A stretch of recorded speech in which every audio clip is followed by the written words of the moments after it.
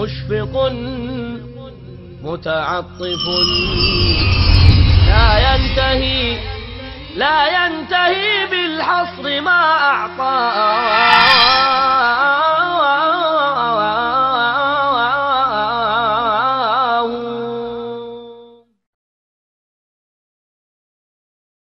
السلام عليكم ورحمة الله تعالى وبركاته. الحمد لله الحمد لله نحمده ونستعينه ونستغفره ونؤمن به ونتوكل عليه ونعوذ بالله من شرور أنفسنا ومن سيئات أعمالنا. من يهده الله فلا مضل له ومن يضلله فلا هادي له. وأشهد أن لا إله إلا الله وحده لا شريك له. وأشهد أن محمدا عبده ورسوله. أما بعد فأعوذ بالله من الشيطان الرجيم. بسم الله الرحمن الرحيم. واعبدوا الله ولا تشركوا به شيئا وبالوالدين إحسانا وبذي القربى واليتامى والمساكين والجار ذي القربى والجار الجنب والصاحب بالجنب وابن السبيل وما ملكت أيمانكم إن الله لا يحب من كان مختالا فخورا উপস্থিত দর্শক শ্রোতা আলহামদুলিল্লাহ আল্লাহ পাকের লাখো শুকুর দিনের কিছু কথা বলার জন্য রব্বুল আলমিন আমাদেরকে একসাথে বসার তৌফিক দিয়েছেন প্রিয় বন্ধুরা আজকের সমাজে আমাদের সকলের মধ্যেই এক পেরেশানি, এক চিন্তা, উৎকণ্ঠা। সকলের একটাই কথা, শান্তি নাই। না পারিবারিক জীবনে, না সামাজিক জীবনে, না রাষ্ট্রীয় জীবনে কোথাও শান্তি নাই। সকলের একই বক্তব্য, সকলের একই সমস্যা, অশান্তি আর অশান্তি। প্রিয় বন্ধুরা, শান্তি কোন পথে তাহলে?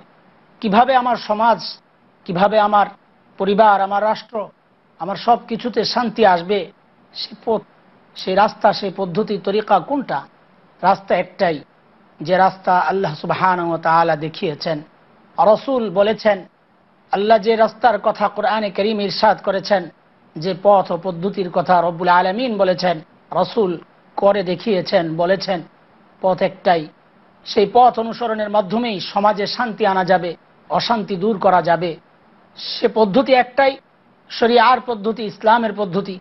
তার অনুসরণ অনুকরণের মাধ্যমে, বাস্তবায়নের মাধ্যমে, ব্যক্তিগত জীবনে, পারিবারিক জীবনে, রাষ্ট্রীয় জীবনে, এমনকি আখরাতের জীবনেও সে শান্তি পেতে পারে। আসুন সেই পথ সম্পর্কে, সে পদ্ধতি সম্পর্কে, আল্লাহ সুবহান ও তার যে দিক নির্দেশনা, সে সম্পর্কে কিছু আলোচনা করি। তিলাবত করেছি যে আয়াতটি, সেই আয়াত হচ্ছে সুরা নিসার ছত্রিশ নম্বর আয়াত। এটা এজন্যে বলা, যাতে কোনো ভাই, কেউ যদি ইচ্ছে করেন এই আয়াতের তফসির আরও বিস্তারিতভাবে জানার, পড়ার। তিনি যেন কোরআনের তফসির খুলে দেখতে পারেন। আমাদের এখান থেকে বিস্তারিত আলোচনা হয়তো সম্ভব নয়। তফসির দেখে আপনি আপনার লক্ষ্য, আপনার পথ আপনি ঠিক করে নিতে পারেন। আল্লাহ সুবাহান তালা শান্তি কীভাবে আসবে সে পদ্ধতি বাতলে দিয়েছেন। রবুল আলমিন বলেছেন, ও আবুদুল্লাহ তুশরিকুবি আল্লাহর ইবাদত করো, আল্লাহর সাথে কাউকে শরিক করো না। অবিল ওয়ালিদাইনি হেসানা সমাজে শান্তি আসবে। সামাজিক জীব হিসেবে মানুষ পারস্পরিক যে বিষয়গুলো আছে সম্পর্কের ব্যাপার, এই পারস্পরিক বিষয়ে একজন আরেকজনের কাছে যে কিছু হক আছে, কিছু দায়িত্ব আছে, কিছু কর্তব্য আছে, কিছু পালনীয় বিষয় আছে, পরস্পর পরস্পরের দায়িত্ব যখন আদায় করবে, তখনই কিন্তু সমাজে শান্তি আসবে। আমি অন্যের যে হক সেটা দিলাম না, কিন্তু মনে মনে আশা করে রাখলাম যে তিনি তার দায়িত্ব আদায় করছেন না, তিনি তার কর্তব্য পালন করছেন না। সকলের অভিযোগ অন্যের দিকে, যে তিনি তার কর্তব্য পালন করছেন না। আর কোরআন আমাকে বলছে, শরিয়া আমাকে বলছে, তুমি তোমার কর্তব্য পালন করো, তাইলেই সমাজে শান্তি চলে আসবে। অন্যেরটা বাদ দাও। সবাই যখন এই অবস্থায় চলে যাব, প্রত্যেকে নিজের দায়িত্ব, নিজের কর্তব্য আদায় করব, কোরআন বলছে আমাকে তুমি নিজে যখন ঠিক হয়ে যাবে অন্যে তোমাকে ক্ষতি করতে পারবে না। সাময়িক সমস্যার সৃষ্টি করলেও এক সময় সেটা ঠিক হয়ে যাবে ইনশাআল্লাহ তাহলে কোরআন বলছে। সেই দায়িত্বগুলো বিষয়ে আমরা আজকে সচেতনতা সৃষ্টির জন্য আলোচনা করব, পর্যালোচনা করব ইনশাআল্লাহ তাহলে আল্লাহ তালা বলছেন অবিল ওয়ালিদাইন ইহসানা। শান্তি আসবে যখন বাবা মার সাথে সন্তানের পারস্পরিক সম্পর্কের যে বিষয়, একজন আরেকজনের দায়িত্বগুলো যখন আদায় করবে। রব্বুল আলমিন এখানে বাবা মার প্রসঙ্গ এনেছেন, সন্তানের প্রসঙ্গ আনেন নাই, কিন্তু আজকে আমরা সন্তানের বিষয়টা নিয়ে আগে কথা বলব।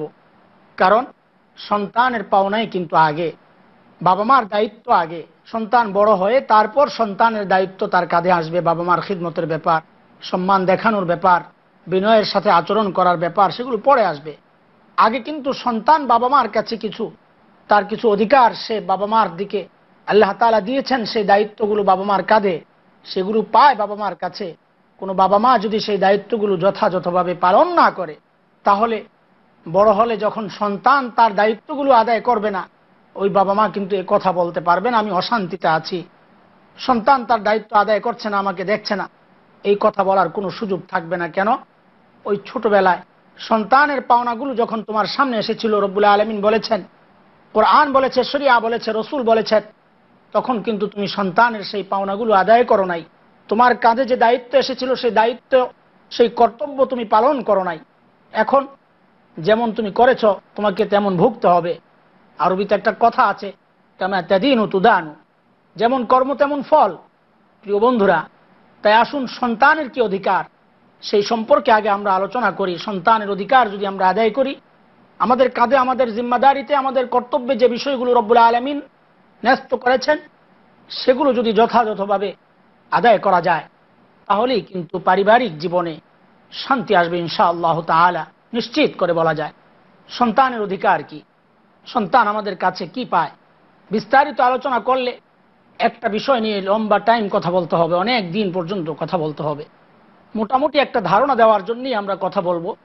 সন্তানের পাওনা হচ্ছে শুরুতেই, সন্তান যখন মায়ের পেটে থাকবে এর আগেও কিছু পাওনা আছে, কিন্তু সে প্রসঙ্গ পরে আনব ইনশাআল্লাহ। সন্তান যখন মায়ের পেটে আসবে, ও মা, ও আমার বোন, তোমার কাছে বিনীত অনুরোধ আমাদের। এই কচি সন্তানের দায়িত্বকে, তার যে অধিকার, এটাকে গলা টিপে তুমি হত্যা করো না। তোমার পেটে বাচ্চা, ওই বাচ্চার অধিকার আমার মা দিনই পরিবেশে থাকুক। আমরা জানি সন্তান যখন পেটে থাকে, মা অস্বস্তিতে থাকেন। এটা তো খুব কষ্টের কথা, এটা তো নিশ্চিত। জানি এই অনুভূতি সকলের আছে কম বেশ, কিন্তু তার ওই কষ্টের মুহূর্তগুলো কাটানোর জন্য তিনি যেন এমন কোনো পথ বেছে না নেন যে পথের মধ্যে আল্লাহ তালার অসন্তুষ্টি রয়েছে। আমরা লক্ষ্য করে থাকি, এটা সবাই আমরা বলতে পারব এই কথা, যে ওই সমস্ত মায়েরা সময় কাটানোর জন্যে, ওই অস্বস্তিকর মুহূর্তগুলো কাটানোর জন্যে তিনি যে বিষয়টা বেছে নেন, সেটা হচ্ছে তিনি টেলিভিশনের সামনে বসে থাকেন, অশ্লীল সিনেমা দেখেন, গান বাদ্য দেখেন, গান শুনেন হায় আফসুস, আপনার ওই মুহূর্তের প্রভাব, ওই গুনার প্রভাবগুলো ওই কচি সন্তানের উপর পড়ছে। শুরুতেই আপনি সন্তানকে দিনদার হিসেবে গড়ে তোলার যে দায়িত্ব আল্লাহ তাআলা আপনার কাঁধে দিয়েছিলেন, তার সে অধিকারগুলোকে, ওই তার পেটে থাকা অবস্থায় তার অধিকারকে আপনি গলা টিপে হত্যা করছেন, তাকে বঞ্চিত করছেন। আজকে যদি আপনি এই সন্তানকে পেটে নিয়ে নামাজ পড়তেন, ওই সন্তান আলহামদুলিল্লাহ নামাজের অনুভূতি আল্লাহ তাআলা তার অন্তরের মধ্যে ঢুকিয়ে দিতেন। সন্তানকে পেটে রেখে আপনি যদি কোরআন তেলাওয়াত করতেন, আহ, আফসোস, ওই সন্তানের দিলের মধ্যে আল্লাহ তাআলা কোরআনের মহাব্বত ঢুকিয়ে দিতেন। সেটা আমি করি নাই। আমি যেটা করেছি তার প্রভাবও সন্তানের মধ্যে পড়েছে। ওই সন্তান জন্ম নেওয়ার পর, ভূমিষ্ঠ হওয়ার পর, সে ওই জাতীয় আচরণগুলোই করছে। যে কাজগুলো মা তাকে পেটে নিয়ে করেছিল নাউজবিল্লাহিনজালি সন্তানের এই অধিকার থেকে সন্তানকে আমরা বঞ্চিত না করি। আল্লাহ তালা হেফাজত করেন। সন্তান যখন ভূমিষ্ঠ হয় তার অধিকারগুলো সব দিক থেকে, চারদিক থেকে আমাদের কাছে চলে আসে। অথচ একটা একটা করে আমি তাকে বঞ্চিত করি। সন্তানের অধিকার ছিল এটা। সে আল্লাহর দুনিয়াকে দেখবে এক পবিত্র মুহূর্তে। আল্লাহ ওয়ালাদের সাথে, আল্লাহ ওয়ালাদের হাত ধরে সে পৃথিবীর মুখ দেখবে, এটা তার অধিকার ছিল। আমি মডার্ন। অর্থ দিয়েছেন আল্লাহ তাআলা, আমার অঞ্চলে, আমার এলাকায়, আমার দেশের হসপিটালগুলো ওইরকম উন্নত নয় আমাকে। তাকে নিয়ে যেতে হবে ইয়াহুদিন আসারাদের রাষ্ট্রে। অথবা তার নাগরিকত্বের জন্যে আমাকে ভিন্ন কোনো জায়গায় চলে যেতে হবে। সেখানে না দিনই পরিবেশ আছে, না ইমানের কোনো অবস্থা আছে। আপনার সন্তান যখন দুনিয়ায় আসছে, তখন হয়তো সে কোনো ইয়াহুদি নার্সের হাতে, অথবা কোনো খ্রিস্টান নার্সের হাতে, অথবা কোনো মুসলিম, কিন্তু বেদিন মুসলিম যিনি ইমান দিন ও শরিয়ার সাথে যার কোনো সম্পর্ক নাই, এমন কারও হাত ধরে আপনার সন্তান দুনিয়ার মুখ দেখছে। অথচ সে ঘরে থাকলে তার মুরব্বী, তার দাদির হাত ধরে দুনিয়া আসতে পারত। তার নানির হাত ধরে দুনিয়ায় আসতে পারত। একজন মুরব্বীর হাত ধরে যিনি নামাজি, যিনি আল্লাহ বুজুর্গ, যিনি কোরআন তেলাওয়াত করেন, ওই পবিত্র হাত ধরে সে দুনিয়ায় আসতে পারত, তাকে বঞ্চিত করেছেন আপনি। আপনি আধুনিক হওয়ার দোহাই দিয়ে সম্পদের অহংকারিতে আপনি তাকে বঞ্চিত করেছেন ইমানি পরিবেশে বড় হওয়ার, ইমানি পরিবেশে দুনিয়ায় আগমন করার। এই সন্তান কোনোদিন যদি নাস্তিক হয়ে যায়, কোনোদিন মুরতাদ হয়ে যায়, এর জন্য আপনিও কিন্তু দায়িত্ব এড়িয়ে যেতে পারেন না। কারণ দুনিয়ায় আসার সময় তাকে আপনি তাওহিদের বাণী তার কানের মধ্যে ঢুকাতে পারেন নাই। এভাবে যখন সন্তান কয়েকটা দিন অতিক্রম করে, সাত দিন এসে পৌঁছে, তখনও তার জন্য রব্বুল আলমিন কিছু অধিকার দিয়েছেন। এটা তার পাওনা, তার অধিকার। কিন্তু আফসোস অত্যন্ত পরিতাপের সাথে বলতে হয় যে প্রতি মুহূর্তে মুহূর্তে তার অধিকার থেকে তাকে আমরা বঞ্চিত করছি। প্রিয় দর্শক, সেই গুরুত্বপূর্ণ মুহূর্তগুলো শোনার জন্য আমাদের সাথেই থাকুন। ছোট্ট একটা বিরতির জন্য আমরা চলে যাচ্ছি আবারও ফিরে আসব ইনশা আল্লাহ তালা আসসালামু আলাইকুম রহমতুল্লাহ তালা বরাকাত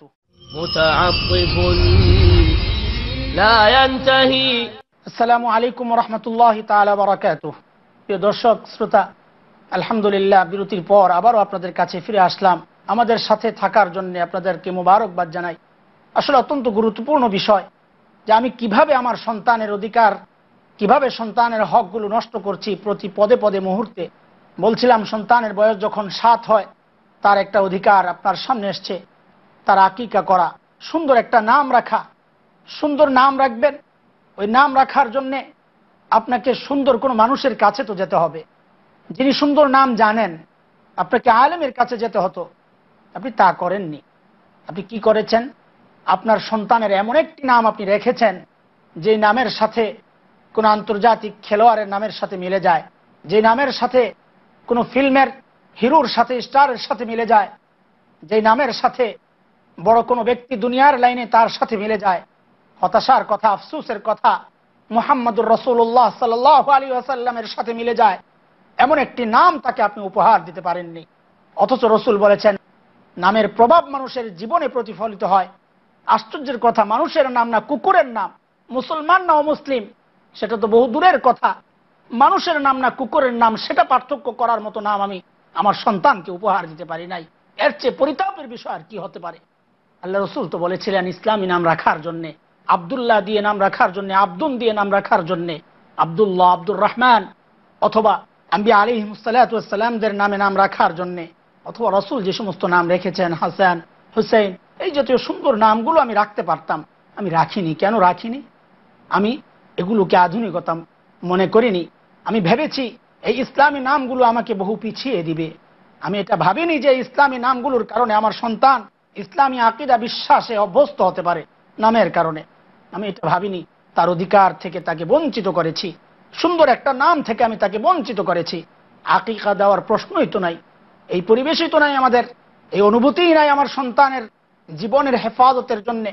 আমাকে একটা আকিকা দেওয়া দরকার, আমাকে তার এই হক তাকে দেওয়া দরকার, সেটা করিনি আমি, তাকে বঞ্চিত করেছি।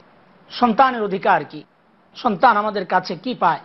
বিস্তারিত আলোচনা করলে একটা বিষয় নিয়ে লম্বা টাইম কথা বলতে হবে, অনেক দিন পর্যন্ত কথা বলতে হবে। মোটামুটি একটা ধারণা দেওয়ার জন্যই আমরা কথা বলব। সন্তানের পাওনা হচ্ছে শুরুতেই, সন্তান যখন মায়ের পেটে থাকবে, এর আগেও কিছু পাওনা আছে, কিন্তু সে প্রসঙ্গ পরে আনব ইনশাআল্লাহ। সন্তান যখন মায়ের পেটে আসবে ও মা ও আমার বোন তোমার কাছে বিনীত অনুরোধ আমাদের। এই কচি সন্তানের দায়িত্বকে, তার যে অধিকার, এটাকে গলা টিপে তুমি হত্যা করো না। তোমার পেটে বাচ্চা, ওই বাচ্চার অধিকার আমার মা দিনই পরিবেশে থাকুক। আমরা জানি সন্তান যখন পেটে থাকে, মা অস্বস্তিতে থাকেন। এটা তো খুব কষ্টের কথা, এটা তো নিশ্চিত। জানি এই অনুভূতি সকলের আছে কম বেশ, কিন্তু তার ওই কষ্টের মুহূর্তগুলো কাটানোর জন্য তিনি যেন এমন কোনো পথ বেছে না নেন। যে পথের মধ্যে আল্লাহ তালার অসন্তুষ্টি রয়েছে। আমরা লক্ষ্য করে থাকি, এটা সবাই আমরা বলতে পারব এ কথা, যে ওই সমস্ত মায়েরা সময় কাটানোর জন্য, ওই অস্বস্তিকর মুহূর্তগুলো কাটানোর জন্যে তিনি যে বিষয়টা বেছে নেন, সেটা হচ্ছে তিনি টেলিভিশনের সামনে বসে থাকেন, অশ্লীল সিনেমা দেখেন, গান বাদ্য দেখেন, গান শুনেন। হায় আফসুস, আপনার ওই মুহূর্তের প্রভাব, ওই গুনার প্রভাবগুলো ওই কচি সন্তানের উপর পড়ছে। শুরুতেই আপনি সন্তানকে দিনদার হিসেবে গড়ে তোলার যে দায়িত্ব আল্লাহ তাআলা আপনার কাজে দিয়েছিলেন, তার সে অধিকারগুলোকে, ওই তার পেটে থাকা অবস্থায় তার অধিকারকে আপনি গলা টিপে হত্যা করছেন, তাকে বঞ্চিত করছেন। এইভাবে প্রতি পদে পদে আমি সন্তানকে বঞ্চিত করে যাচ্ছি। অনেক সময় আমার ঘরে সে বড় হচ্ছে, সে অপরাধ করলে আমি কিচ্ছু বলি না। ছোট মানুষ হজরত আমরিবনা আবি সালাম রদিয়াল্লাহ তালান রসুল করিম সাল আলী ওসাল্লামের কাছেই থাকতেন। তিনি বলেন, কুন্তু ফি রসুল্লাহ সাল আলী ওসাল্লাম ওকানাত ফি রসুলের সাথে খাচ্ছিলাম বড় প্লেটে। আমার হাত চারদিকে যাচ্ছিল, শুধু বাচ্চারা যা করে। রসুল সাথে সাথে টুকেছেন, সাথে সাথে ধরেছেন, ইয়া গোলাম, সাম্মিল্লাহ, আল্লাহর নাম নিয়ে খাও বিসমিল্লা বলে খাও, কুল বিয়ামিনিক, ডান হাতে খাও, অকুল মিম্মা আলিক তোমার কাছ থেকে খাও, চারদিকে হাত বাড়িও না। ছোট্ট বাচ্চা শিক্ষা দিয়েছেন রসুল, বাচ্চাকেই তো শিখাতে হবে। আমরা একটা ভুলের মধ্যে থাকি, ছোট মানুষ তাকে কি বলব? আশ্চর্যের কথা বলব তো ছোট মানুষকেই, বড় হলে তো সে আমার কথা শুনবে না। এখনই তো তাকে আমার কথা শোনানোর ব্যাপারে অভ্যস্ত করতে হবে। ভালো কাজে তাকে অভ্যস্ত করতে হবে। সে ভিন্ন কোনো কাজে যখন অভ্যস্ত হয়ে যাবে, তখন তো তাকে আর বুঝানো যাবে না। এভাবে আমরা ছেড়ে দিচ্ছি বাচ্চাদেরকে, না? আর যখন বড় হয়ে নষ্ট হয়ে যাচ্ছে, তখন বলছি, হায়, কি করলাম কি করলাম? এক ফার্সি কবি চমৎকার বলেছেন अंदरूने कार दरिया तख्त बंदम कर दई बाजमी गुई के दामन तरमकुन হুশিয়ার বাস নদীর কিনারে দাঁড়িয়ে সন্তানের হাত পা বেঁধে তাকে নদীর মধ্যে নিক্ষেপ করে দিলাম আর উপর থেকে বলছি বাবা সাবধানে থেকো তোমার জামা কাপড় যেন ভিজে না যায় এটা একটা হাস্যকর কথা সন্তানকে নষ্ট করার জন্য সমস্ত পথ আমি তাকে সহজ করে দিয়েছি সে যেভাবে বলেছে তাই করেছি দিন ও আর কোনো চিন্তা করি নাই তার কেরিয়ার গড়ার জন্য আমি তাকে কোরআন শিখাই নাই। ছোটবেলায় বসিয়ে বসে তাকে আমি রবীন্দ্রসঙ্গীত শিখিয়েছি। অথচ সন্তান কোরআন জানে না। নওয়াজবিল্লাহ মিনজা আলী একজন মুসলমানের সন্তানের জন্য এর চেয়ে বড় আফসোসের কথা আর কি হতে পারে? মুসলমানের সন্তান কোরআন পড়তে জানে না। অথচ সে নজরুল সংগীত জানে, সে রবীন্দ্র সংগীত জানে, সে সমস্ত সংগীত জগতের যত কিছু আছে সব জানে, সে ডান্স জানে, সে আর্ট জানে, সবই জানে জানে না শুধু কোরআন পড়া। জানে না শুধু নামাজ পড়া, জানে না শুধু তার রবের সাথে সম্পর্কের যত মাধ্যম, সেগুলো সে জানে না। সন্তানকে কে বঞ্চিত করল? প্যারে হাজিরিন, কে বঞ্চিত করল? আমি আমার সন্তানকে বঞ্চিত করেছি তার অধিকার থেকে। আবার শেষে বলছি, সন্তান আমার কথা শুনছে না। সন্তানকে সমস্ত রকমের অপকর্ম করার জন্য আমি সহজ সুযোগ করে দিয়েছি। অথচ আমি পরে বলছি, সন্তান আমার কথা শুনে না, কীভাবে শুনবে? কীভাবে শুনবে? আমি তো তাকে নষ্ট হওয়ার সমস্ত রকমের সুযোগ তো আমিই করে দিয়েছি। এভাবে সন্তান বড় হচ্ছে, ঘরের মধ্যে সে বাবা মার আচরণ দেখছে, ঝগড়াঝাটি দেখছে, মিথ্যা কথা দেখছে, ঘরের মধ্যে অশ্লীল সিনেমা চলছে, সে দেখছে, সে ওইভাবেই বড় হচ্ছে। সন্তানের এইভাবে বড় হতে হতে যখন সাত বছরে পৌঁছেছে, রসুল বলেন, তার অনেক অধিকার থেকে তাকে বঞ্চিত করেছ, আর করো না। যখন তার বয়স সাত, আল্লাহর পক্ষ থেকে রসুলের মাধ্যমে এক নতুন হুকুম চলে আসছে, মুরুসিবিয়ানাকুম বিসসালাত ওহুম আবনা ও সাবা। যখন তার বয়স সাত হবে, তখন তাকে নামাজের হুকুম করো। নামাজের হুকুম থেকে করব আমি? ছোট্ট বাচ্চা না, নামাজ কিসের আবার? নওয়াজুবিল্লাহ আমি নিজেই তো নামাজ পড়ি না, তাকে নামাজের হুকুম কি করে করব? অথচ আম্বিয়া আলী সালাতাম তার সন্তানদেরকে নামাজের হুকুম করতেন, ওয়াকানা সন্তানদেরকে তিনি নামাজের হুকুম করতেন জাকাতের হুকুম করতেন। আল্লাহ তাআলা হুকুম করছেন, ওয়ামুর আহলাকা বিসসালাত ওয়াসতাবির আলাইহা। সন্তানকে আপনজনকে নামাজের হুকুম করুন, নিজেও এর উপর কায়েম থাকুন। নিজে নামাজ পড়ি না, সন্তানকে নামাজের হুকুম কি করে করব? লজ্জার কথা।